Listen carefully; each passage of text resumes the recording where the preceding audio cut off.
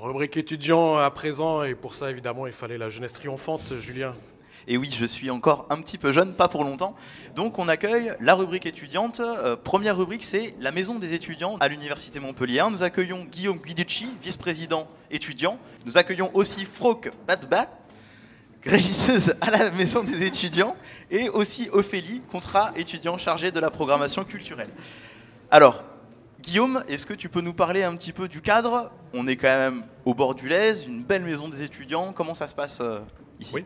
Donc bonjour Julien, bonjour Damien.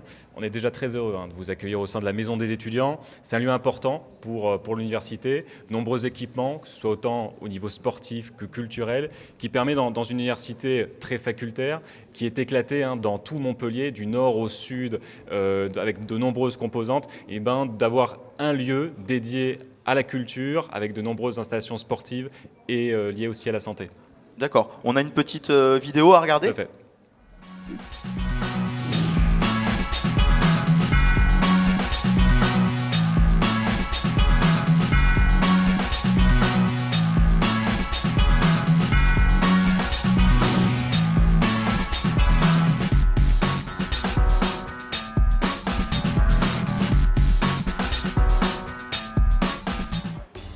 Salut Aujourd'hui, on va vous parler de la Maison des étudiants, Emission League, aussi appelée MDE.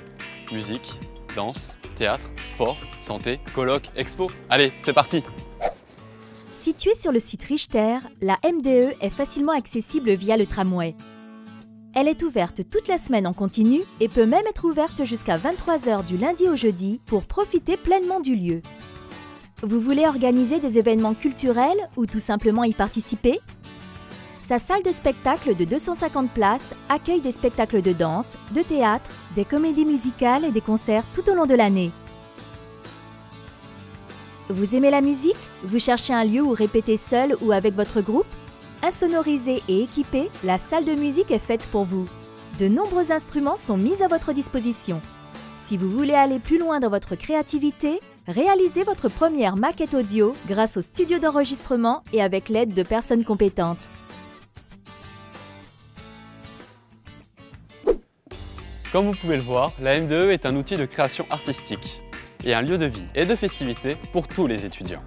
Toutes les activités qui s'y déroulent contribuent à créer et à renforcer les liens entre les étudiants. Mais la MDE, ce n'est pas que ça.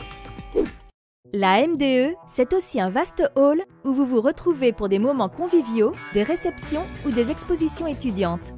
Vous pouvez y faire une pause dans la journée, recharger votre carte d'étudiant et même travailler. Elle dispose également d'une salle de réunion pour les associations. Besoin de faire le point sur votre santé? Une antenne du SUMS est présente à la maison des étudiants. Ce service est là pour vous, prêt à vous informer, faire votre bilan santé ou vous orienter vers un professionnel de santé. Vous pouvez aussi participer aux actions de sensibilisation et de prévention qu'il organise tout au long de l'année. Vous voulez faire du sport?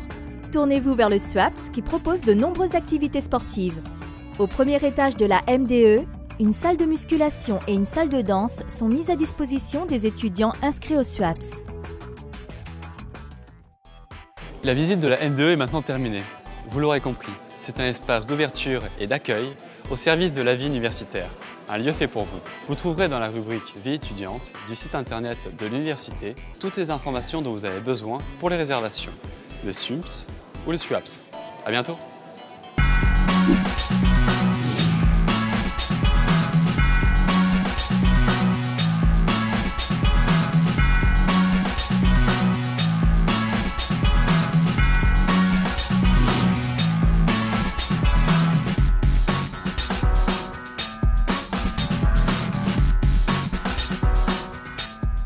Une très belle vidéo sur la maison des étudiants.